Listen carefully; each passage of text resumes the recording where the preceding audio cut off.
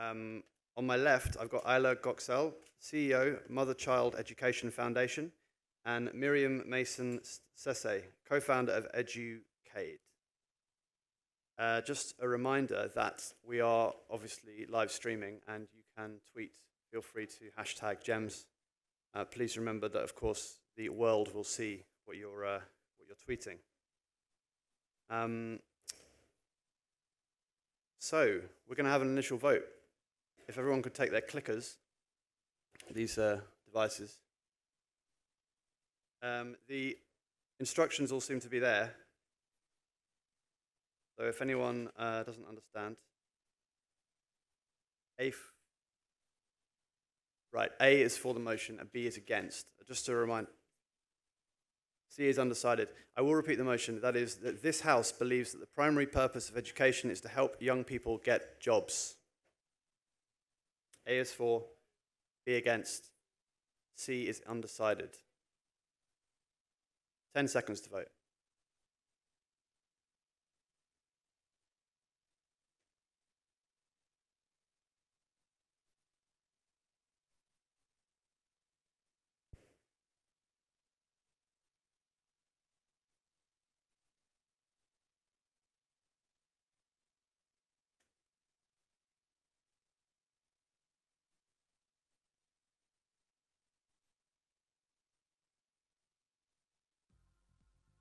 There's the music.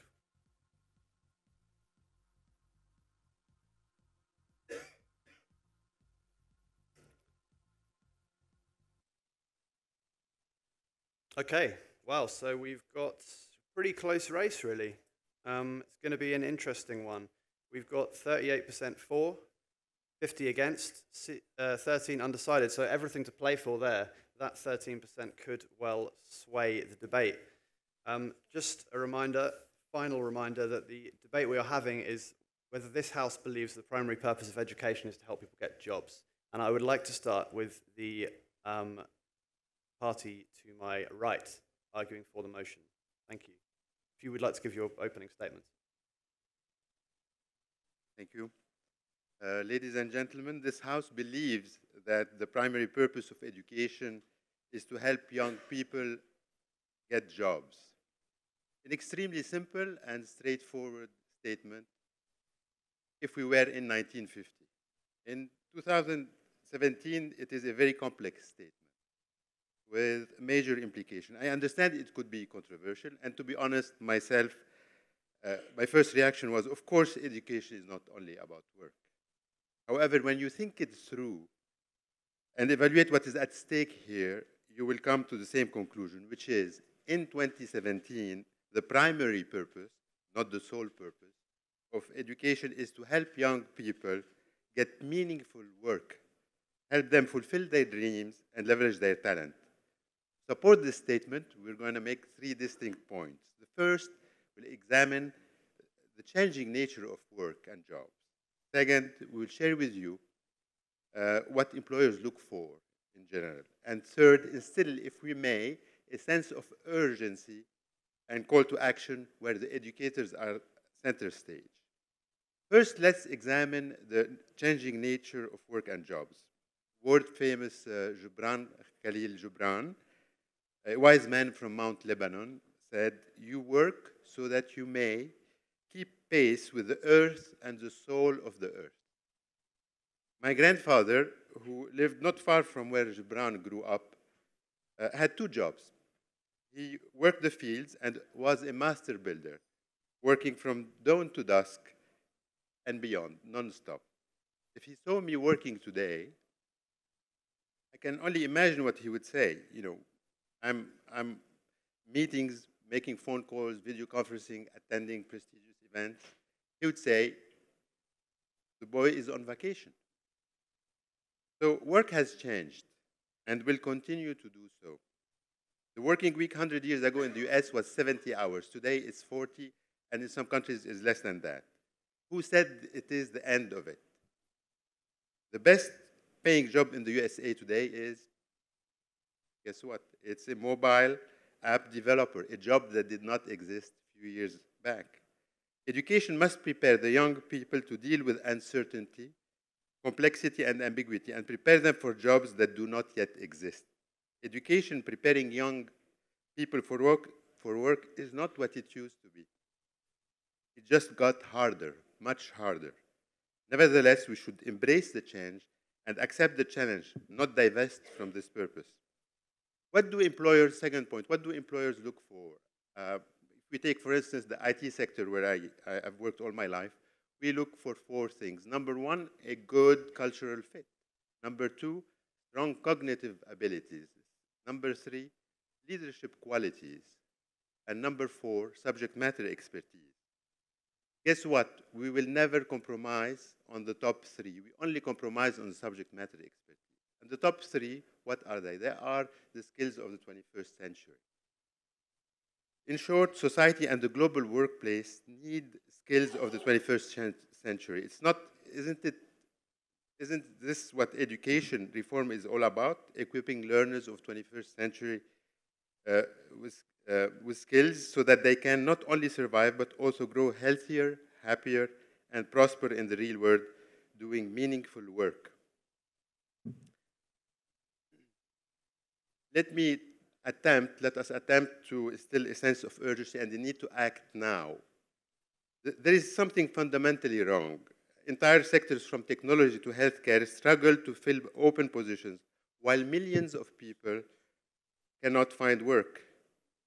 Many who do work feel underemployed. This results in a dysfunctional society where millions are discouraged and many, too many, disfranchised. McKinsey quantified the magnitude of the crisis. In 2016, the country surveyed around the world, in the countries surveyed, 30 to 45% of the working age population is either unemployed, inactive, or working part-time. In seven countries like Brazil, China, Germany, India, Japan, UK, and the US, this amounts to 850 million people. The youth situation is even more alarming. According to the ILO, 40% of the global youth labor workforce lives in poverty, whether they work or not. Unemployment and underemployment have reached new heights that cannot be neglected. It's a crisis. It's a very painful situation, especially for youth and women. Let's focus a little bit on the MENA situation, which is quite special, with 60% of the total population less than 25 years old, uh, youth unemployment is at double, according to the ILO, double the world average. It's the highest in the world. I don't want really to over-dramatize, but you remember what happened in December 2010 with, with a young uh, person from uh, uh Tunisia, Mohamed Bouazizi. He actually, uh, it's a dramatic, it's a very sad event an educated young person that set himself on fire because of the job situation. The enormous gap between graduates and the job market, and to use Gibran analogy, between graduates and keeping in pace with the soul of the earth is a result of rampant complacency and lack of proactive cooperation between all the stakeholders. The issues are still unresolved, which means a great deal of pressure on all to deliver. The educators are center stage. One silver lining is the technology. How is that? Massive cooperation between the data native learners, the teachers, decision makers in the private sector and government will change the game. The medium is the message. I'm sure you've heard this one before. Collaboration in the 21st century is as important as content. Now tools are made easier to use by everyone, and they significantly help us all to scale. And they are started to be turbocharged with machine learning and artificial intelligence that are game changers. They will impact K-12, vocational training, and university significantly. They will improve the learning experience and increase alignment with real life. Sorry, that is your warning. Okay.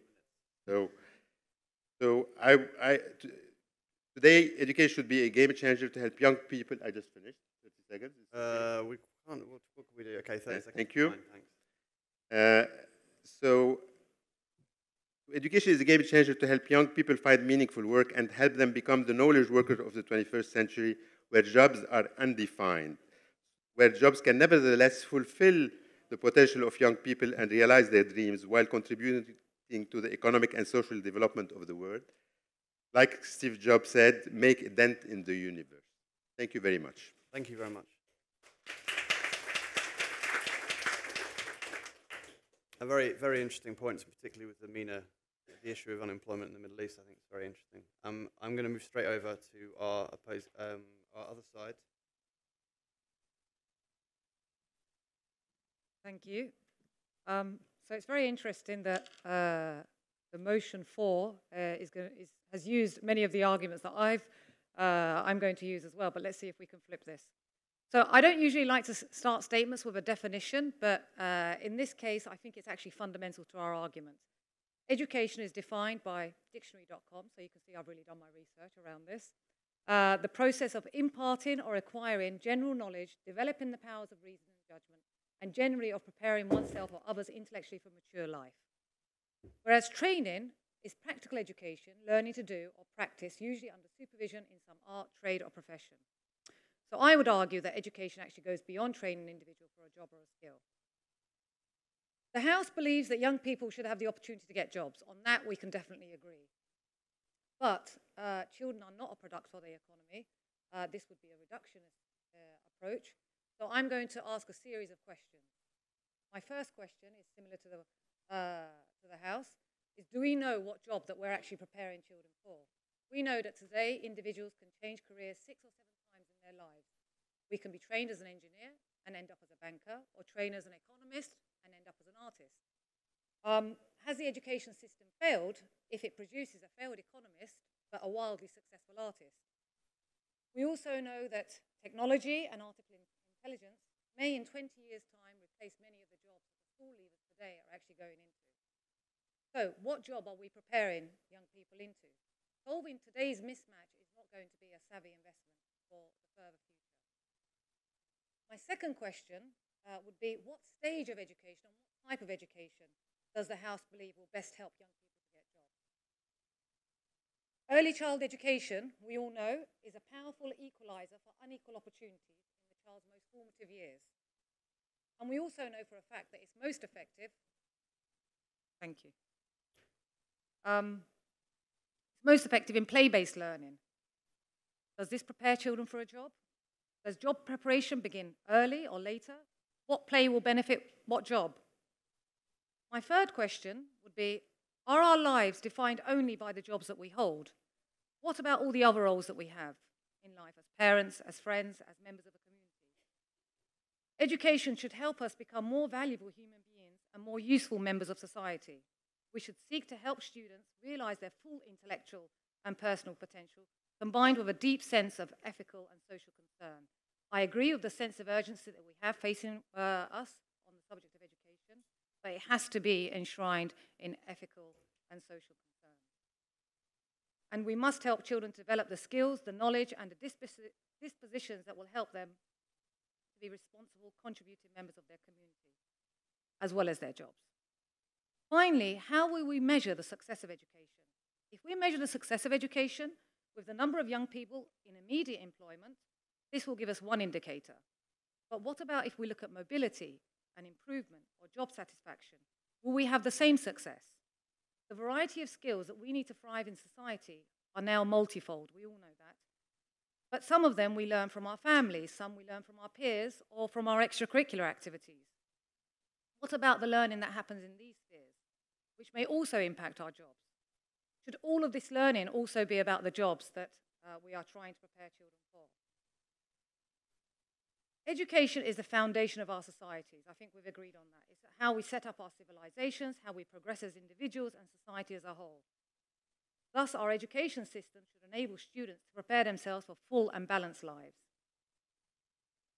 The Association for American Colleges and Universities recently uh, produced a report, and they believe there is an essential set of learning outcomes essential for success in today's world, similar to the 21st century skills that the speaker before me mentioned. The knowledge of human cultures and the natural and physical world, intellectual and practical skills, individual and social responsibilities, and integrative learning learning to learn and adapting to environment. So any purpose statement that restricts the aim of education to employment and does not address the outcomes aimed by these learning outcomes will fail to provide individuals the right to holistic development and thereby actually decelerate the progress of our societal development. So, what should education do? What is actually really done for centuries, maybe? In its simplest form, if education can provide a mind equipped to think, as John Har James Harvey said, this will be the most important work skill of all. And as Sadhguru said this morning, developing children only to serve an economy is actually a crime against humanity. Thank you.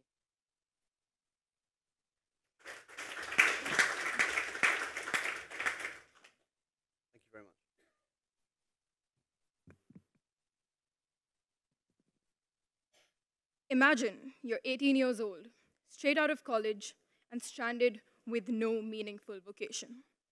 You graduate without social security, without promise of economic stability, without assurance that you will spend the rest of your life doing something you love, with all your years of economic struggle in vain. Ladies and gentlemen, this may sound like a scary situation to you, but this is the unfortunate reality of the world we live in. Studies show that one in four people cannot find jobs that pay them over a dollar a day.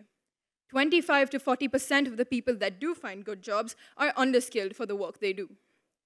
The motion that stands before us today is undeniably one of direct consequence to the youth of my generation. And as second speaker on side proposition, I would like to reaffirm the points made by our first speaker and give you a more global and personal perspective of the issue. To support this statement, I will be focusing on three major points today. First, why character development and the pursuit of knowledge cannot be isolated from professional development. Second, the impact of purposeful education on the, on the economy. And finally, the direct effect of this motion on graduating students. Somebody once said, the purpose of education is not to manufacture good workers, but to manufacture good citizens. And I agree. In today's day and age, it is of unprecedented importance that every student is equipped with a certain set of skills, such as leadership and collaborative ability, amongst others. But what use are these skills if the students aren't given the opportunity to use them to contribute towards the betterment of society? In a time where country stability is determined by the economy, how are these students supposed to be good citizens if they cannot contribute good work first? Perhaps the most common misconception today is that teaching strong values and individual character development in schools is to be prioritized over professional development.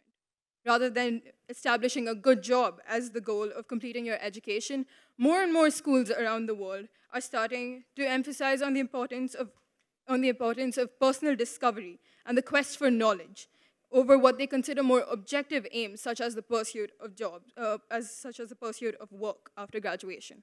However, what most in institutions fail to acknowledge is the fact that personal and professional development are inextricably linked. As companies have gradually begun shifting the, their focus towards looking for leaders who are capable of learning more rather than workers who know more. We do not deny that individualistic growth is an essential part of the education process, right? And is the main contributor to a fulfilled individual being able to express themselves through their work. But while education may certainly focus on aspects of holistic character, de uh, character development, the main aim of education is ultimately to guide students towards professional growth.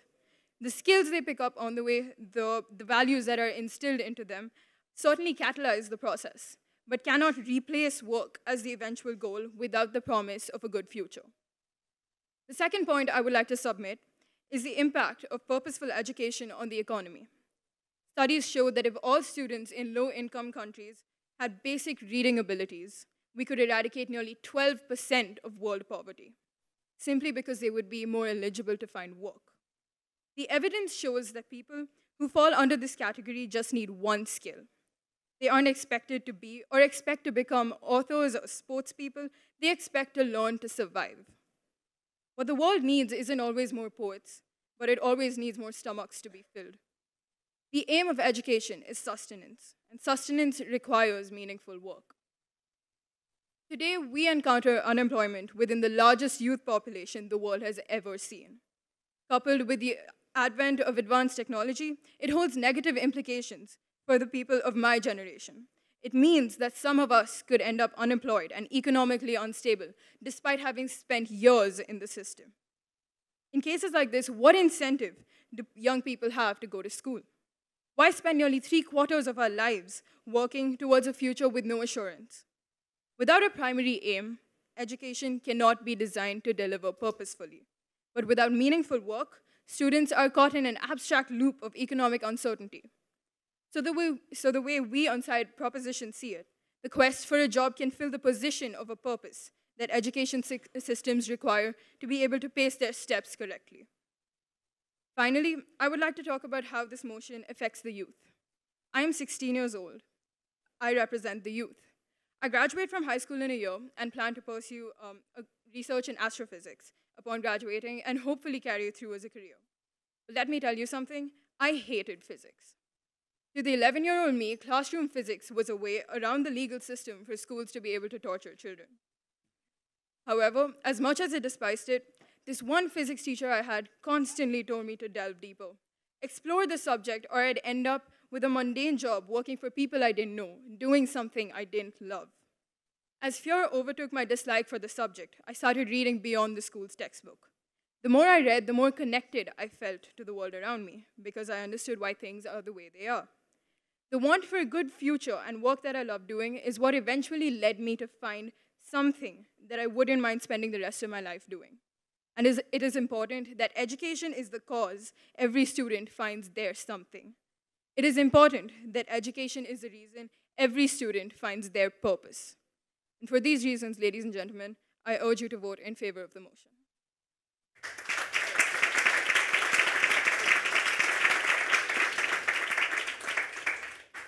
Thank you very much for that speech. Um, and our final uh, argument. Good afternoon.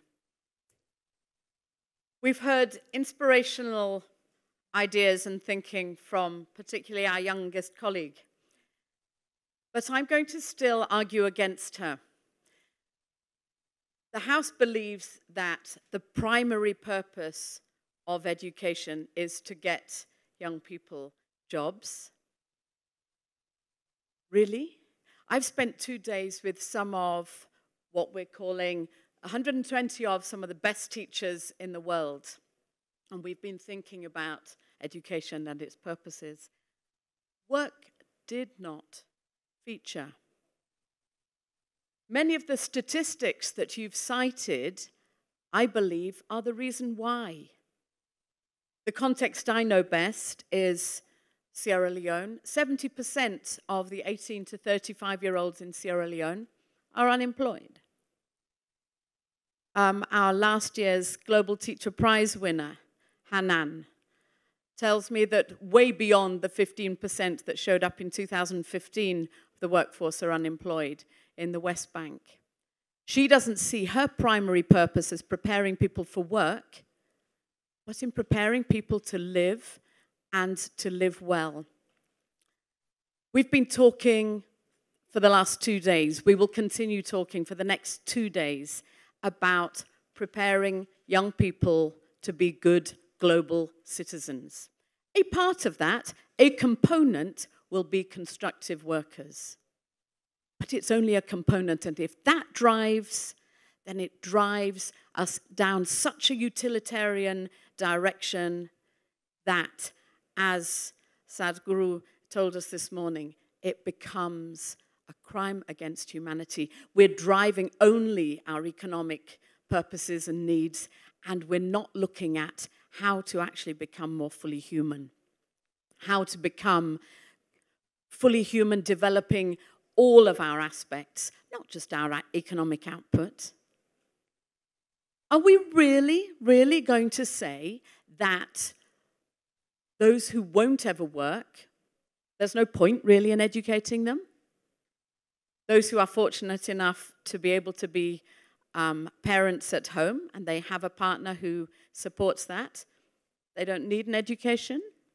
Those who have disabilities that make work impossible. Those that live in economic, economies that at the moment aren't able to provide employment for them.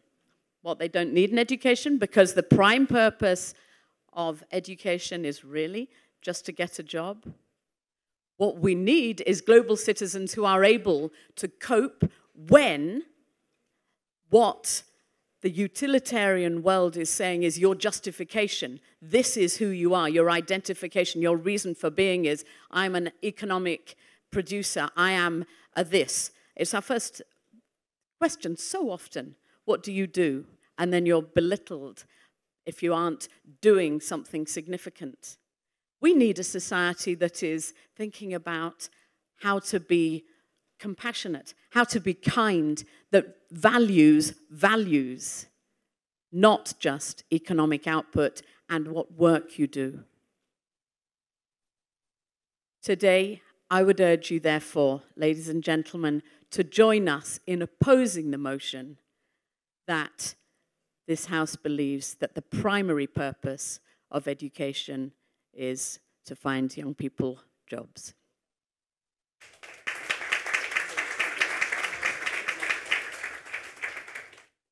Thanks everyone for very prompt speeches. We only heard the alarm once, so that's very, very good. Um, I can see there are a lot more people here now, so I would like to really turn it over to you to see what you guys want to hear and what you guys want to ask either side. Um, I think the issue here we have is, of course, the, this word primary. I mean, that's, that's the fundamental bit of this debate. I think we both, on both sides, value education. Um, obviously, speak very movingly about it, but it's this word primary. So I'm interested in that. Um, who would like to ask a question? Start. Sorry. We, yes, do we have a microphone? I think we're going to start over here, this gentleman.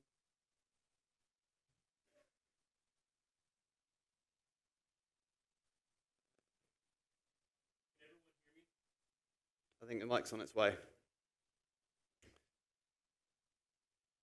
Hello. Okay. Um, I, I had a question um, when it was referenced before that many of the jobs that we as educators are teaching people for haven't even been invented yet. If my primary focus is to teach people to get a job, what exactly am I supposed to be teaching them in order to prepare them to get this job that by the time, and being a grade 12 teacher, the job, I don't even know what it is yet. Um, I feel that it's more about the skills and the critical thinking process so that they can adapt and be innovative, not here's a job that I'm going to, or have you make that decision yet? And I was just wondering if you could respond to that question. It's interesting, and we have a similar, um, of course, in the UK and, and in America too. I mean, jobs become redundant, don't they? And then somebody's trained to be, say, a miner or something like that. They don't have that anymore. So how do you deal with that? So you, you don't uh, educate, when you're talking K to 12, you don't educate for, for a specific job that doesn't exist. So what you need to do is to uh, teach the kids how to be creative, how to have critical thinking, how to work in teams, and, uh, uh, and think out of the box, communicate, uh, instill in them or encourage the leadership qualities, all these things that eventually employers and vibrant marketplaces like the IT and healthcare want.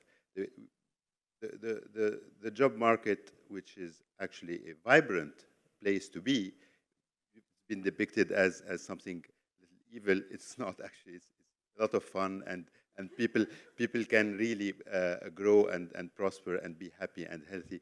But to do that, uh, they, they need to have those 21st century skills that we're all so passionate about. Anyone else have a question, perhaps for my um, colleagues on the left here? Okay, this gentleman over here in the blue t-shirt.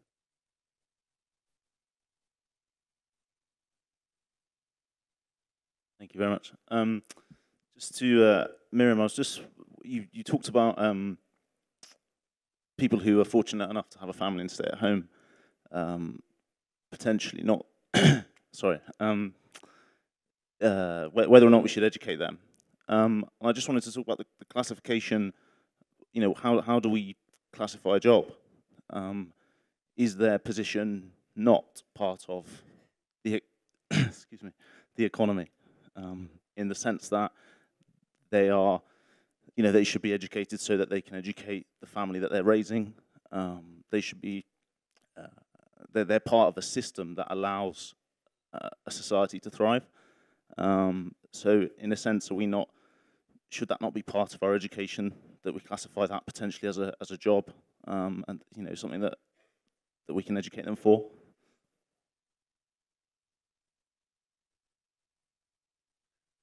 Um, I think, obviously, whatever role you're playing, one can classify it as a job. And certainly, if mother at home, she has hundreds and hundreds of jobs. Dad at home has hundreds and hundreds of jobs.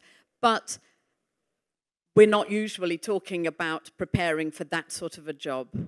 And our colleagues for the motion were talking about having um, employment in the sense of going out and discovering areas of, of knowledge and physics and whatever is a great example. I'm, I'm, if you want to put it like that, all of our job is to be a global citizen. Let's prepare for that job. If we're going to change the terminology, then we can change the terminology. If we're talking about um, jobs in the sense of paid employment, which we usually are, then I would say then it's not going to be our primary purpose because so many people are excluded from that category. Oh, over here, the lady in the white.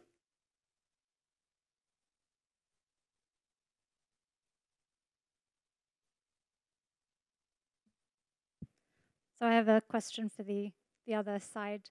Um, I forget the exact statistic, but I think it's around 75% of people hate their jobs. And as we're moving, you know, with exponential technology, some tech evangelists argue that maybe by 2030, jobs can have more or less become obsolete.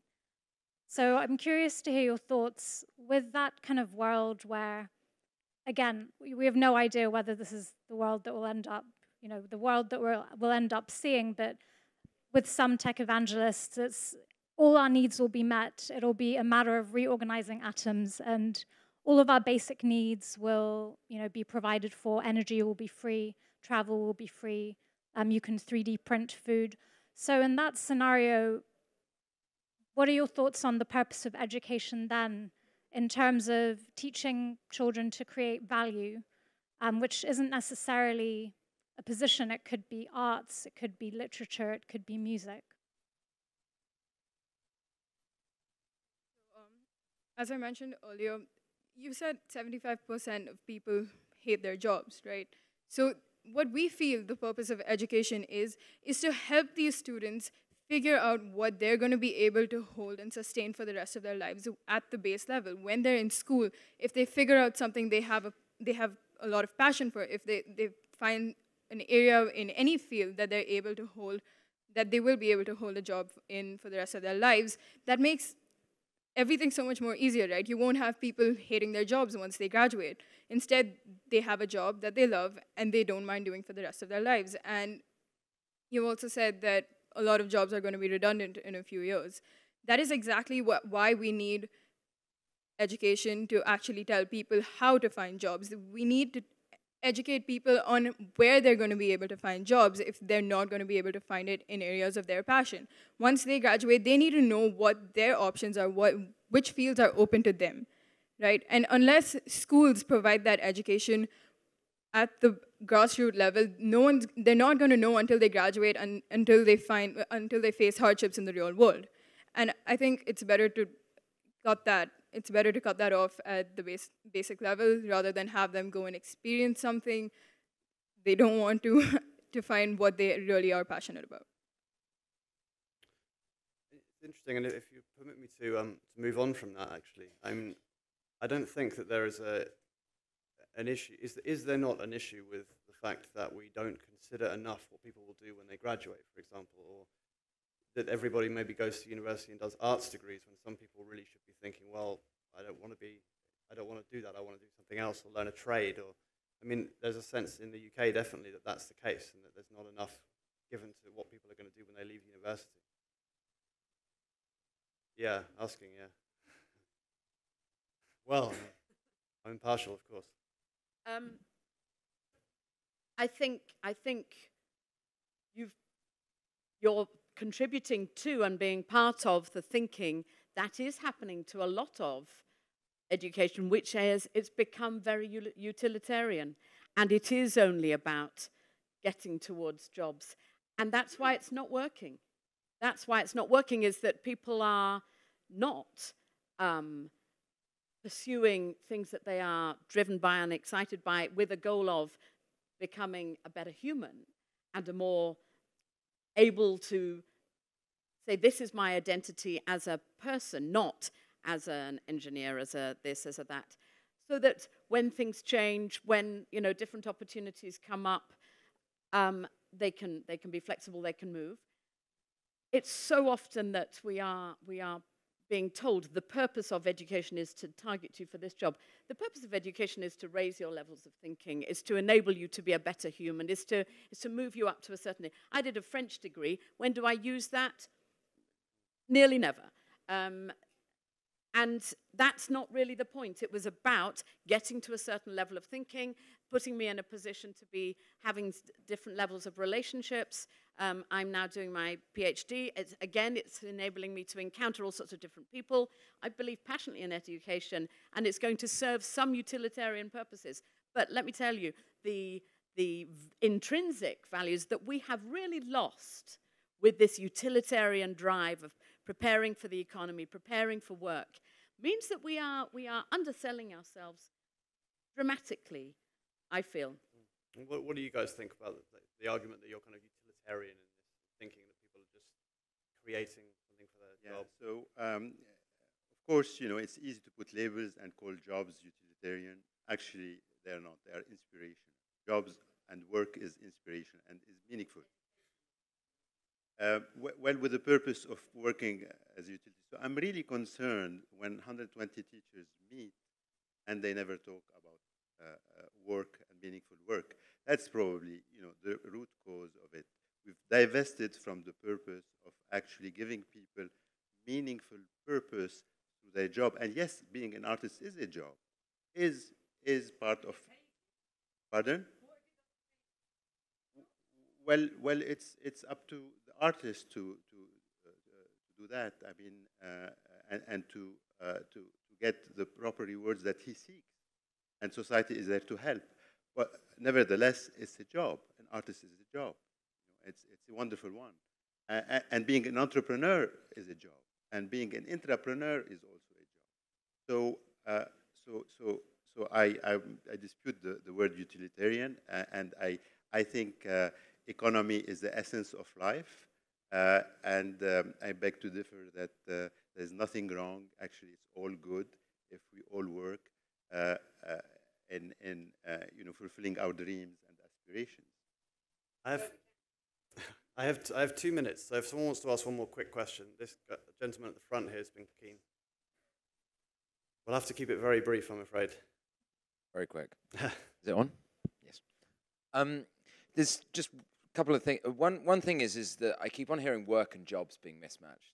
Um, just because you work doesn't mean you have a job. You know, work is is something that's different to a job. And I think if you're preparing someone to go into a job, that's different from preparing someone to go and work. I don't think we should conflate the two.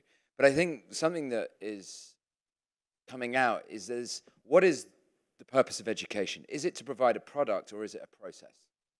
Um, education is not something that people do between the age of 5 and 18 or 22 or whatever they do. Education is a lifelong process. Yeah?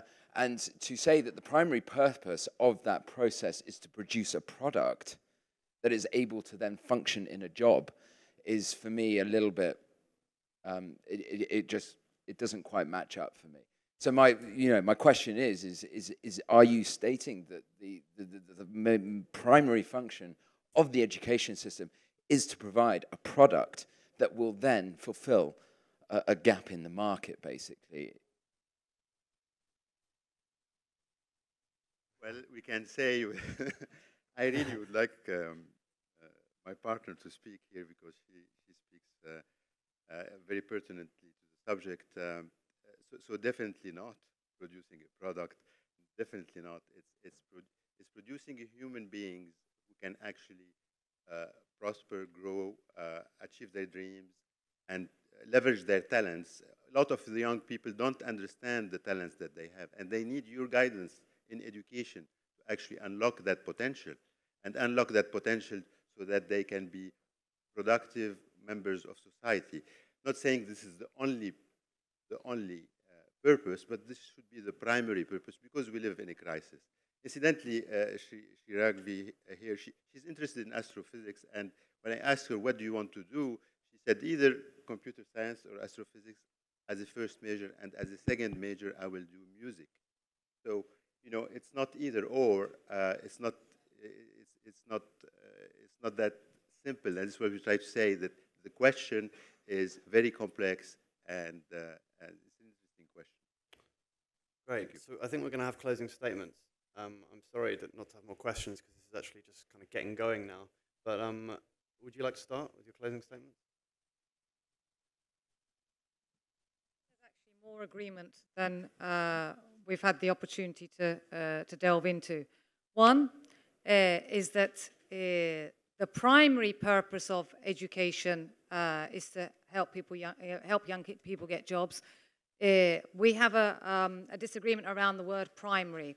I mean, I don't think anyone is, uh, is in disagreement that young people shouldn't get jobs or young people shouldn't, uh, you know, go into gainful employment if, they're, if that's what they're seeking. But the primary, so that's one thing I think that we need to uh, unpack. Uh, and the, the flip side of the coin there would also be if the primary purpose of education is to help young people get jobs, is then the primary purpose of government or the private sector to provide those jobs for those children that we're we're educating. The second point uh, is really around the type of education. I think that's uh, on that we've managed to have some kind of agreement because we all agree that uh, we don't know what kind of jobs there, are going to be in the future and we need more adaptive learning and technology is advancing so fast that we don't know what kind of economy we're going to see.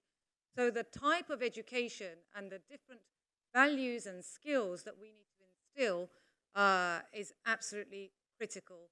And uh, I think both sides of the House have departed from the very you know, minimalist, uh, you know, just skills-based, uh, professional skills-based education. Well, I, I, hope that we've at least been able to uh, inform you of that.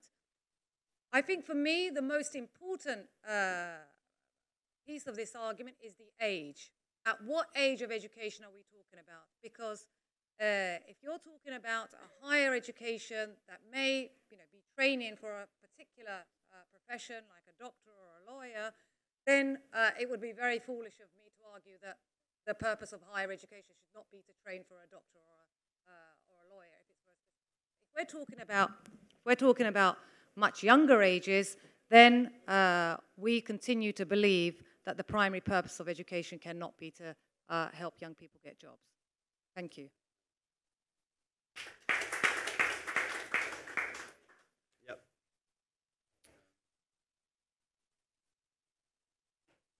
There is a quote by John Adams, which I, um, really like. He was the second president in the US. He said, I study science and engineering so that my kids can study economics and history, so that their kids can study uh, poetry and philosophy.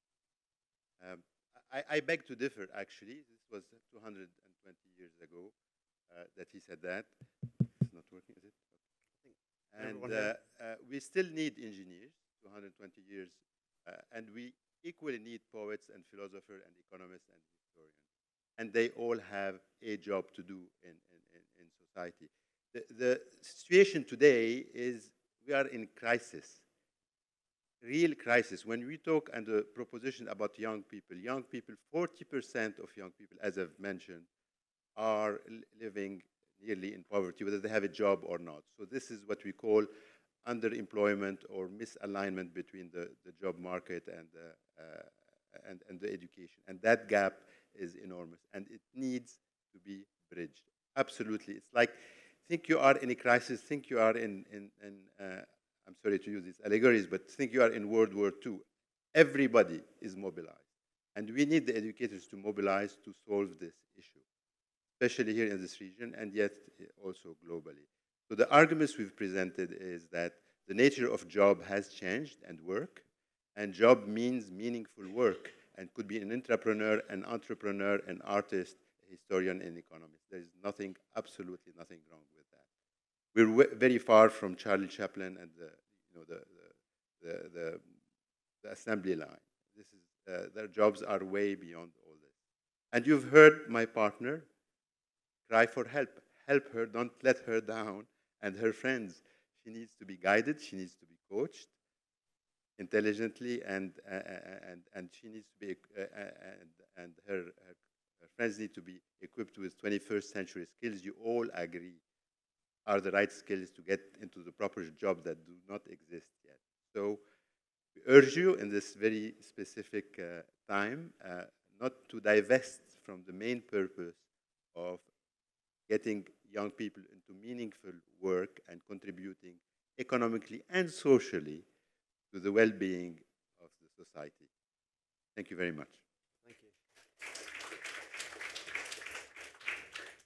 And I'd like to thank both sides for very eloquent and passionate arguments. I'm, I'm sad that we can't have more debate here today because it's uh, been fascinating to listen to. Um, we are now going to vote on the motion that this House believes that the primary purpose of education is to help young people get jobs. Does everyone have their clickers? So we might remember that it was very close earlier, um, so it's going to be an interesting result. A is for, B against, C undecided. If you're still undecided after that, then I'm not sure. yeah. So I think, yeah, the time is on. There's the music.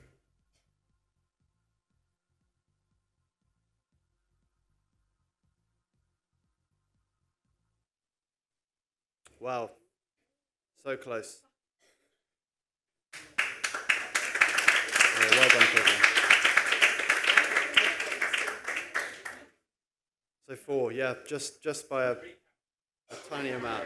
Yeah. okay. So I can tell you that we started off with four at 38%, B at 50, C at 13%, and we're now up to A at 50% and B at 44%. So um, it's a, a resounding, uh, well, not resounding actually, but it's, it's, a result either way. Thanks very much um, to both sides, and uh, I hope this debate carries on in the halls outside.